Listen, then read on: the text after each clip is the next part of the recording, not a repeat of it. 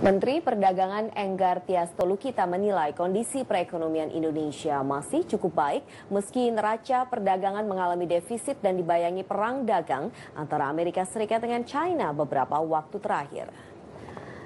Menteri Perdagangan menjelaskan penurunan ekspor yang terjadi saat ini bukan disebabkan oleh kapasitas produksi yang menurun di dalam negeri, melainkan pengaruh harga komoditas di pasar internasional. Apalagi Indonesia merupakan negara dengan pasar ekspor komoditas mentah yang sangat bergantung dengan pergerakan harga pasar, misalnya minyak sawit mentah. Selain itu pengaruh ekspor juga berasal dari sentimen hubungan dagang yang diberikan mitra dagang, misalnya perlakuan diskriminatif Eropa dan India.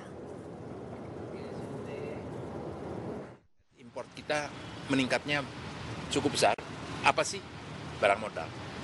Kalau import barang modal, sebenarnya untuk sesa, untuk saat ini saya tidak terlalu khawatir. Karena itu persiapan untuk uh, industri dan uh, infrastruktur karena traktor segala macam itu banyak alat uh, heavy equipment. Kemudian ekspornya kita tidak bisa menutup mata, yaitu dengan pelemahan itu. Ambillah contoh ekspor kita olein itu